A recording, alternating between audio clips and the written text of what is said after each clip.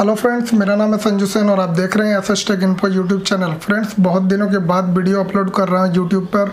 मैं out of city था, मैं जगन्नाथपुरी गया था, जगन्नाथ जी का दर्शन करने के लिए।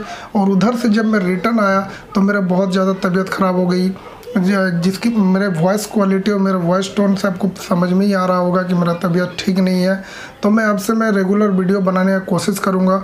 और thanks to subscribe my YouTube channel मेरे 500 सब्सक्राइबर हो गए हैं। आप इसी तरह सपोर्ट दिखाते रहे, मुझे सपोर्ट करते रहें, मुझे काफ़ी अच्छा लगेगा। अगर आप मेरे कामों को अप्रिसिएट करेंगे तो चलिए इस वीडियो को शुरू करते हैं। आज हम वीडियो शुरू करने वाले हैं एक अनबॉक्सिंग से। तो फ्रेंड्स हम लावा का स्पार्क आई एट मॉडल जो है, एक फीचर फ़ोन है।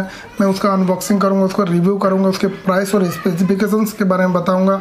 और आपको ये फ़ोन ख़रीदना चाहिए या नहीं, ये भी मैं आप लोगों को बताऊँगा। तो चलिए इस वीडियो में बने रहें। अगर वीडियो अच्छा लगे तो प्लीज़ लाइक शेयर कमेंट कीजिएगा। और मेरे चैनल में अभी आप नए आए हैं तो इसको सब्सक्राइब कर लीजिएगा और बेलाइकन को प्रेस कर दीजिएगा। तो फ्रेंड्स सबसे पहले हम बात करेंगे इसके पैकेट के बारे में। ये लावा स्पार्क आई एट बहुत ही अट्रैक्टिव मोबाइल है और इसके पैकेट को भी अगर हम लोग देखेंगे तो बहुत ही अच्छा पैकेटिंग है कंपनी के द्वारा किया गया है।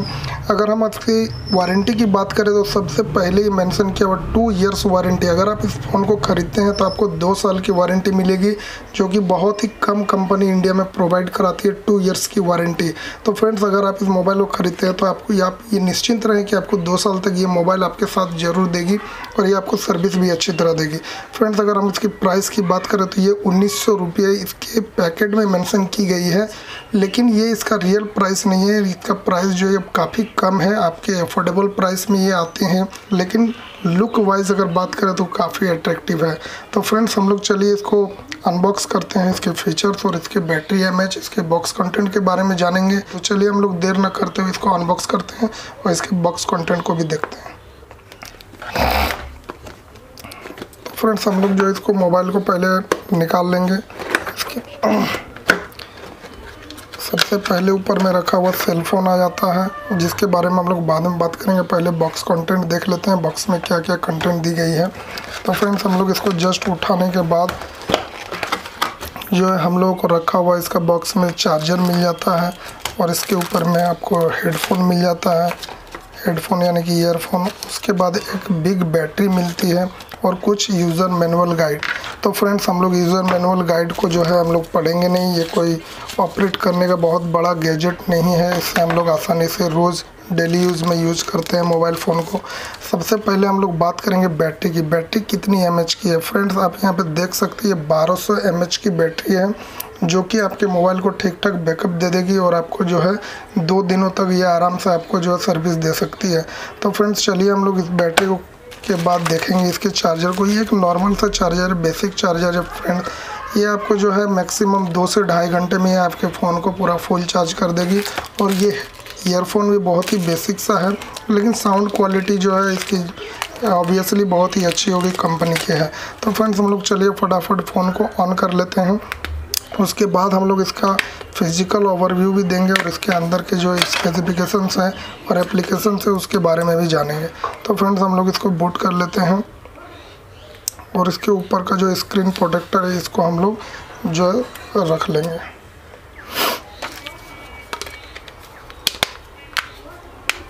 फ्रेंड्स अगर हम लोग इसके लुक की बात करें, उसके बॉडी की डिज़ाइन उसकी इस उसके बिल्ड क्वालिटी की बात करें तो ये काफ़ी अच्छी है। आप देख सकते हैं 1.2 मेगापिक्सल का कैमरा भी है, जो कि पैकेट में जो है मेंशन किया हुआ है। 1.3 मेगापिक्सल का कैमरा दिया हुआ है, जो कि उसके बगल में ठीक आपको जो है एक एलईडी फ्लैश दी गई है और उसके ठीक पास में ही जो है स्पीकर ग्रिल है, जो कि बहुत ही स्टैंडर्ड साउंड है, बहुत लाउड नहीं होती है कंपनी के मोबाइल में। चाइनीज़ मोबाइल में बहुत ज़्यादा लाउड स्पीकर बहुत लाउड बजती है, जिससे कि काफ़ी दूसरे लोगों को भी डिस्टर्ब हो सकती है। तो फ्रेंड्स हम लोग चलिए बात करेंगे इसके डिस्प्ले की। तो लावा ऑलवेज़ अपने डिस्प्ले की क्वालिटी को बरकरार रखती है और जो है आपको उस प्राइस में अच्छी डिस्प्ले भी दे, देती है। और आप अगर देखेंगे इसके डिस्प्ले के ऊपर की स्क्रीन को एज दिखाई दे रहे होंगे, जो कि आपका कर्व्ड है।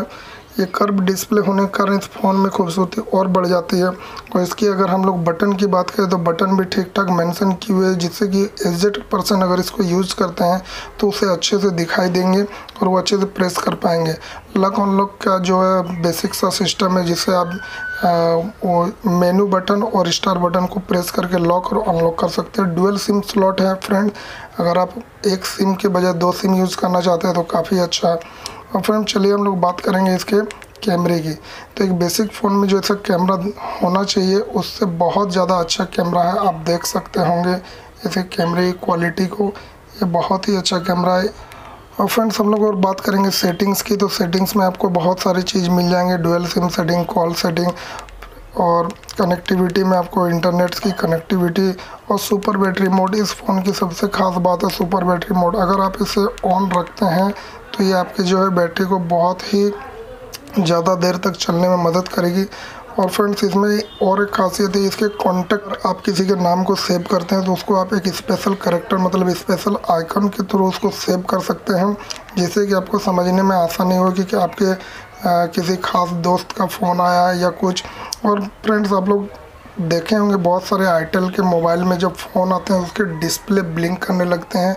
वो भी सिस्टम इस लावा स्पार्क आई एट में दिया गया है, जिससे कि आपको रात को ये समझ में आएँगे सोते वक्त कि आपके कॉल्स आ रहे हैं और ये आपके सामने जो है लाइट ब्लिंक करेंगे।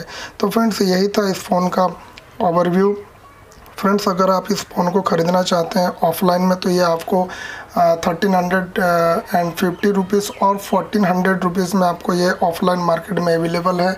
और अगर आप उस प्राइस रेट में लेते हैं, और ये बहुत ही अच्छा फ़ोन है, अगर आप एक सैमसंग का म्यूज़िक टू फ़ोन लेने जाते हैं तो आपको one thousand and six hundred rupees पे करनी पड़ती है, जो कि एक बजट फ़ोन में काफ़ी ज़्यादा है और उसके कुछ खास फीचर्स भी नहीं है। सिर्फ़ आपको म्यूज़िक मिलेंगी, सिर्फ़ आपको एम थ्री ऑडियो म्यूज़िक मिलेंगी और आप अगर इसे लेते हैं तो इसमें आपको एक कैमरे मिल जाती हैं।